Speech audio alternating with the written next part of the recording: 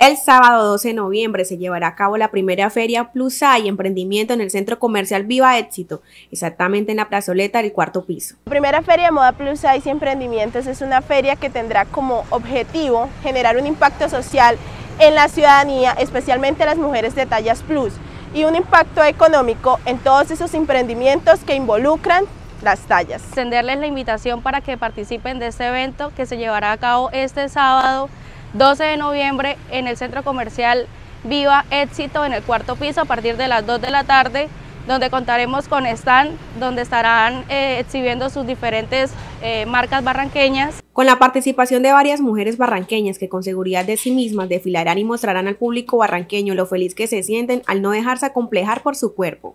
Quiero invitar a todas las mujeres que se sientan inseguras, que creen que porque tienen una talla más o una talla menos, no podemos sacar un evento tan importante.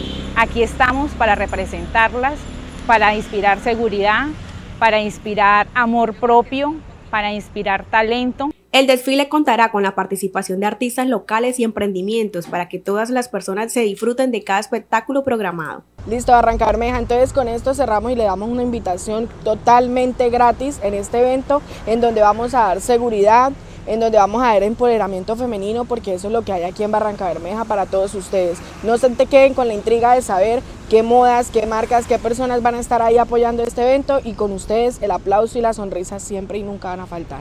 Se espera que toda la comunidad barranqueña asista a partir de las 2 de la tarde y apoye a cada una de estas mujeres seguras de sí mismas, quienes dejan un mensaje de reflexión para todas aquellas que se sienten inseguras por su aspecto físico. Ellas mostrarán que todas pueden y son hermosas.